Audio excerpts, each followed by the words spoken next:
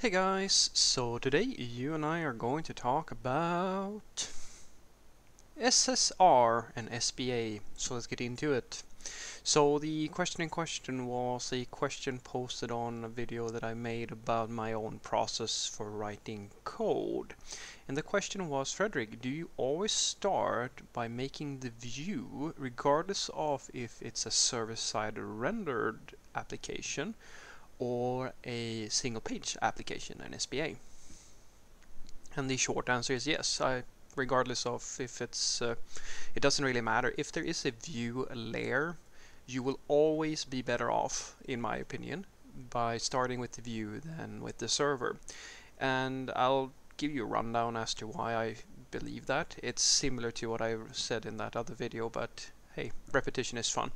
So the reason why I always start with a view whenever I do any type of work that requires me to have a view is because if I do that, I know that I can stub and I can mark off the actual interactions that are supposed to happen on the server from the view. Because if you think about it, whenever you have a view or a user-facing application, like the UI is the thing that the user is interacting with. It is the thing that is value building immediately because without the view it doesn't matter what the system can do. It doesn't matter if this it's the most amazing thing ever because you simply don't have a consumer that can interact with it. But on the other hand, if you have a visual representation of the UI or something like that, well, even if the system doesn't actually do anything for real, the user can still interact with it. They can actually start using the application and sure it's not actually doing the thing that it's supposed to be doing, but you can show how it's going to look when it's done. And there's an enormous value in that. So you probably heard about agile work processes and working in an MVP fashion. MVP stands for minimum viable product. Now, a lot of people criticize agile work processes and MVP because basically a lot of people are using it as an excuse for shipping really, really bad stuff. I don't think that that is what you should be doing. I think that what's going missed, and that is very hard, of course, because I mean, the people who really get it usually are able to do this, and it's the people who are not so in tune with the well with the philosophy around agile work processes that you know, like they they don't really get this right. MVP means not it doesn't mean that you ship something bad. It means that you ship the minimum thing that is valuable. Now look, think about that for a moment the minimum thing that is a value building or valuable to the consumer of the thing. And if you have a view uh, like a serve like a complete web application, the first and most minimum thing that you can build that is value building is the view. That is why you have design firms and designers, for example, why you have the because it's very cheap for you to simulate how a system is going to work by simply showing people how it's going to look. And you can do that with artboards or you can do it with code. I like to see, I like to do it this way.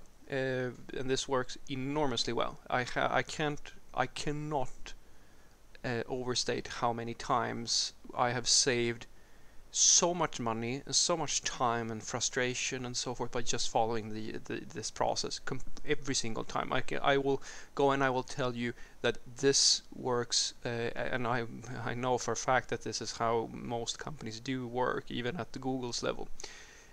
Always, always, always start by designing the thing. Create a few artboards if you create a UI, a representation of the system, and you show that to stakeholders, they can start dishing out details.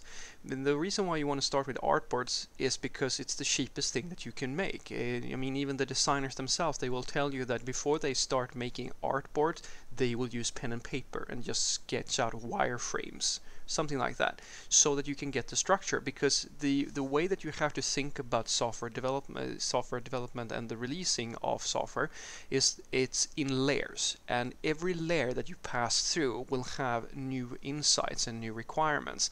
So I'll give you an example. If you ship wireframes, that's going to show you how the structure of the thing is. You can pitch the idea, you can get feedback from your stakeholders, and they can kind of go, oh, but yeah. Uh, sure these boxes seem all fine and dandy but we're also looking at the, these and these and these things and these uh, new insights that you're getting now are they were not part of the original specification and ima imagine now that these new questions that arise just after you did like five minutes of work they could have taken a lot longer for you to implement into your design because you, if you had written the, if you had designed the whole thing you would have more work on your hands. But now you just have wire, wireframes so it's now easier for you to have a holistic picture of the, what the real requirements are.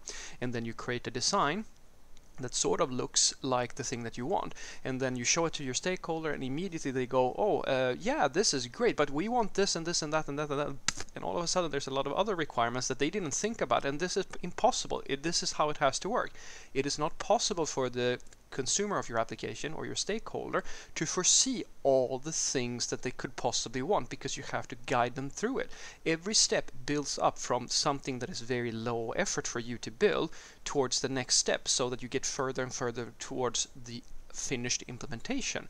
And then after the designing is done and people are happy with the artboards, now you go over to the coding. And here, instead, now there's an interaction element into the whole thing. Remember, this is still cheaper than coding.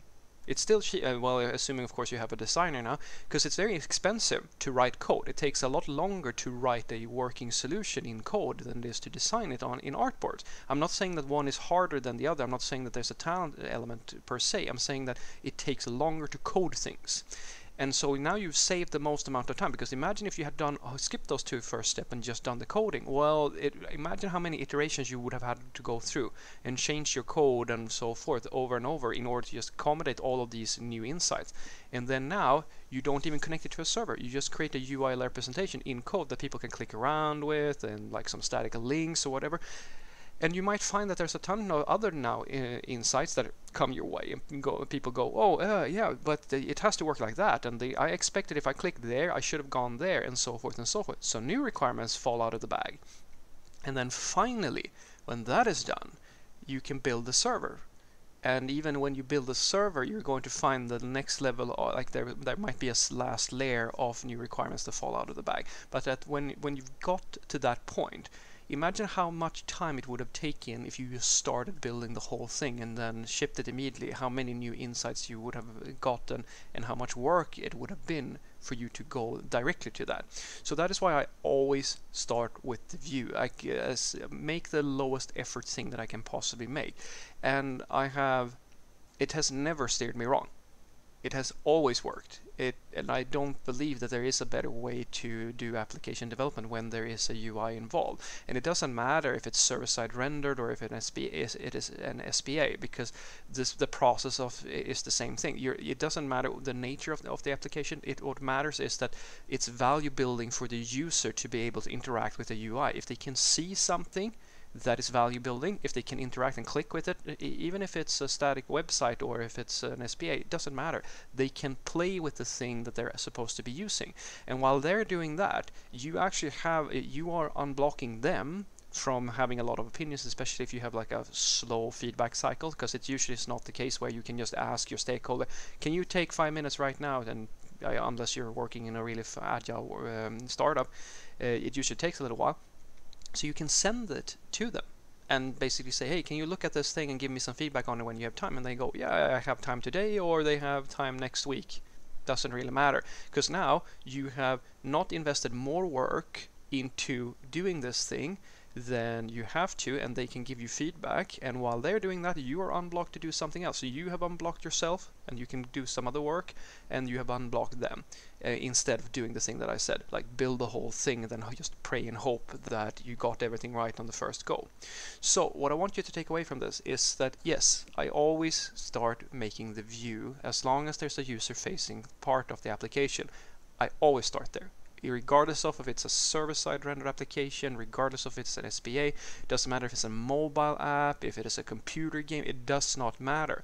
Because if you have a stakeholder who is going to interact with the UI, the UI has value in of itself. It doesn't actually have to have this backend in order to produce value. In an SPA or even in a, in a server-side render application, you can fake the experience. You can create a demo site and the entire experience UI-wise you can build and then just stub off all the data and have like an in-memory cache of data that they just toy around with. And sure, if they refresh the page, yeah, they lose all their data. That doesn't really matter because they can still get the entire experience. And as long as you communicate that this is a demo application where they're just trying out the UI level, they can give you tons of useful feedback. And if you just start thinking in that fashion that every step that you make should be the minimum amount of valuable thing that you can make, but still work towards the end goal, then MVP works in a really, really nice fashion. But that is the key thing.